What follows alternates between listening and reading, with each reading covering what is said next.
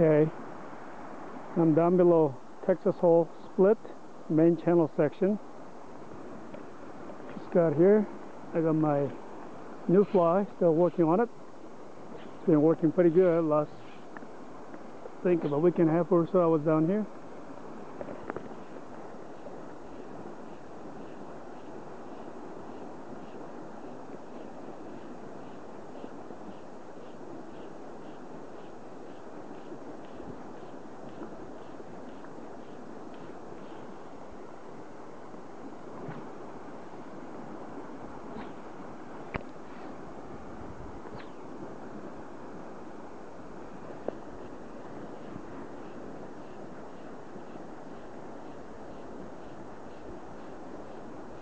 There it goes.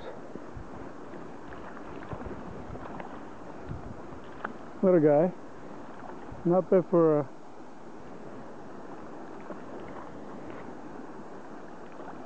a fat brown trout.